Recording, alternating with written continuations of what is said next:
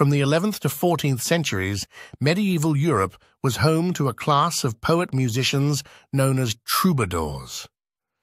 They started out in Occitania in the 11th century before spreading across much of the continent. These artists, not bound by social norms, composed verses and melodies often centered around the ideals of courtly love and chivalry.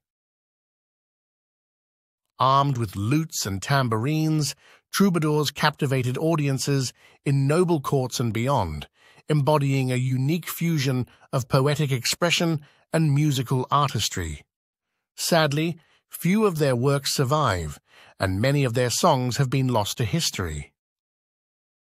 These remarkable musicians and writers, hailing from diverse backgrounds, crafted a cultural legacy that transcended regional boundaries and can still be felt today.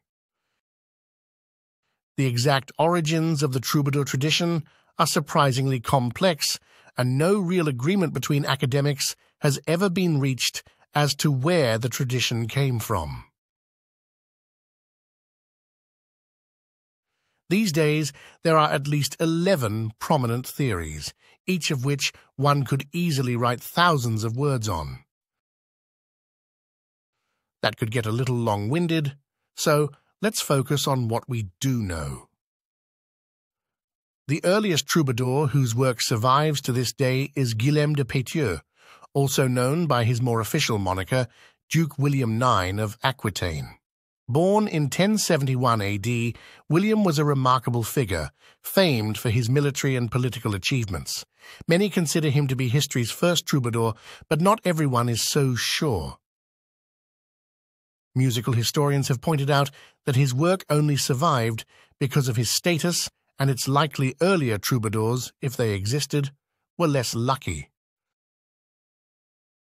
On top of this, his music isn't 100% original and uses previously established musical structures. Some believe Eble II of Ventadorn, despite being younger than William, was the first true troubadour, but sadly none of his works survive. Since the 16th century, scholars have speculated that William took inspiration from Arabian and Moorish music and poetry. William served during the Reconquista, and the English chronicler Orderic Vitalis referred to William writing lyrics about his time serving in the 1101 Crusade. Later historians have often disagreed, citing the fact that it seems William only fought on the Iberian Peninsula towards the end of his life. In turn, this has been countered with the idea that William likely had people within his extended family of Iberian origins and European friends who spoke Arabic. In short, if William wasn't the first troubadour, he was certainly one of the first. While we can't be sure of the tradition's origins, historians have spent centuries examining William's works looking for clues. Theories abound as to where the troubadour tradition originated, but it seems most likely it was influenced by a range of sources, Arabic music being just one of them.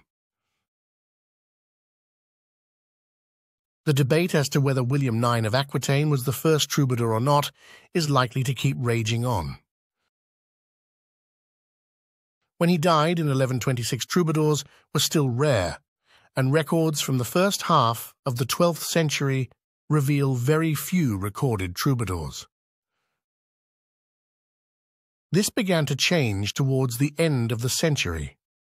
Amazingly, around half of all surviving troubadour works were written between 1180 and 1220 AD.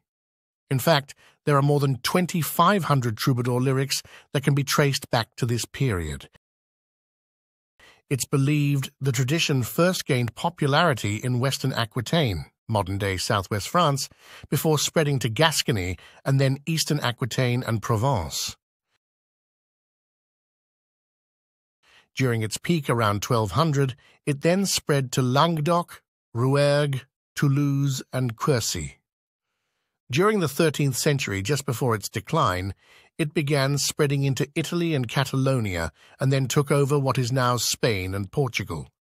This period of expansion, between 1170 and around 1213, later became known as the Rayonnement des Troubadours, influence of the troubadour. So how did the troubadour tradition spread? Through a combination of cultural diffusion, patronage networks, and the itinerant nature of some troubadours themselves.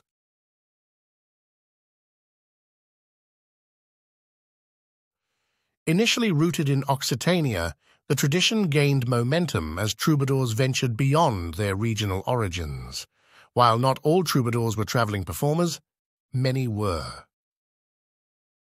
These travelling troubadours, driven by a desire for patronage and recognition, travelled extensively, bringing their art to different courts and regions. As they wandered through various territories, they carried with them the distinctive Occitan language, poetic forms and musical styles that characterized the troubadour tradition. Patronage was key to the tradition's spreading. The hosting of the best, most talented, and most famous troubadours became a badge of honor for nobles. As the demand for troubadours grew across medieval Europe, they were tempted away from their original Occitan courts, spreading the tradition as far as northern France, Italy, and even the Iberian Peninsula. Then there was the codification of the poetic forms used by the troubadours. Men like Raymond Vidal, a Catalan troubadour, and Eusi Feydet of Query went to great trouble writing down the rules of troubadour composition. On top of this, collections of troubadour poetry known as chansonniers were compiled and circulated, contributing to the preservation and dissemination of troubadour works. This likely led to the rise of jogglers, performers who didn't write their own poetry but travelled around performing the works of famous troubadours, much to the annoyance of the troubadours themselves. While the troubadour tradition kept spreading well into the 13th century, its peak is widely considered to have been between 1170 and 1213. All of the most famous troubadours were active during this period. Later generations, especially 14th and 15th century scholars, believe it was during this period that the troubadour poetry produced was at its highest quality. It was also during the classical period that perhaps the most popular genre, canso, love song, came into its own. Of particular note during this time was Bernard de Ventadorn, considered by his contemporaries and later scholars to be the master of canso. Other great names were Giraud de Bornel, whose biographer described him as history's greatest composer, and Bertrand de Born, who specialized in a political song form called sirventes. As the troubadour tradition spread into Italy, Spain, and Portugal during the 13th century, it was these classical troubadours whom local poets emulated. Everything from their language and grammar to style and themes was considered superior to what came after. Emulating their style wasn't easy, but was made easier by the fact that it was during the classical period that the style's rules of composition had been standardized. By the late medieval period, particularly the 14th century, the troubadour tradition was in decline. Several factors contributed to this decline, marking the end of the troubadour era. One of the biggest factors that impacted the tradition was the shifting political and social landscape of Europe. Both the Hundred Years' War, 1337 to 1453, and the Black Death, mid-14th century, brought widespread disruption and upheaval. The chaos and uncertainty of these times led to a decline in the patronage system that had sustained troubadours. With noble courts facing economic challenges and social instability, the support for artistic endeavors waned. It seems everyone was a little preoccupied with not dying a gruesome death. There was also new competition in the form of new literary forms and cultural movements that were rising up to replace the old. The Ars Nova movement, which introduced innovative musical styles and the emergence of Renaissance humanism, shifted literary and artistic tastes away from the troubadour's lyrical and poetic traditions. The music of the troubadours simply fell out of fashion. Religion also played a role. The Council of Trent, 1545 to 1563,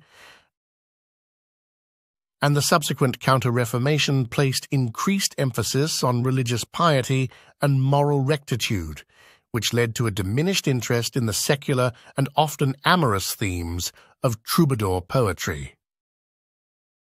By the late 15th century, the troubadour tradition had largely faded into obscurity, replaced by evolving artistic and cultural expressions.